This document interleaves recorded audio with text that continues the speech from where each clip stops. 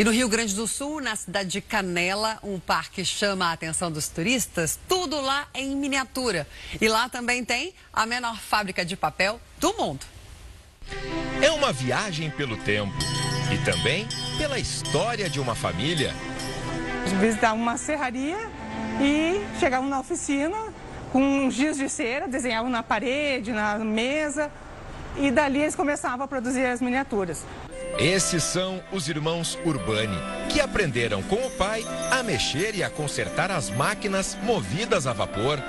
Depois surgiu a ideia de produzir as miniaturas, que encantam a todos que visitam o parque temático.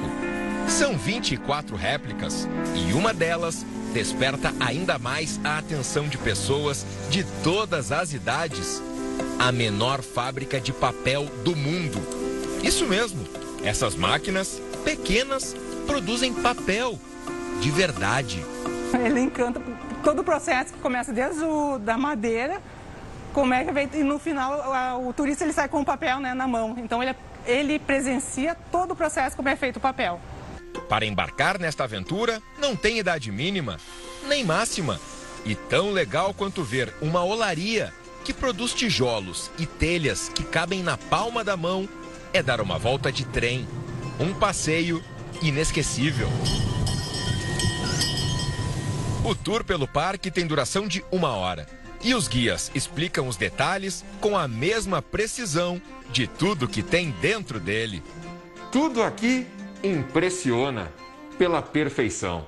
Este espaço, por exemplo, reproduz uma ferrovia que ligava Canela a Porto Alegre e que foi extinta em 1963.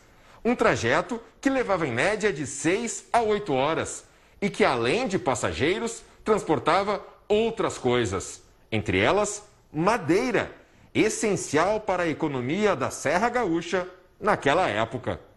E tudo isso ganha um ingrediente especial neste fim de ano. A proximidade com o Natal vem acompanhada de decoração e eventos especiais, como o recital de um tenor.